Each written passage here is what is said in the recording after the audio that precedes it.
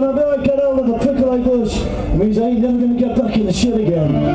So the prickly bush, it breaks my heart for so And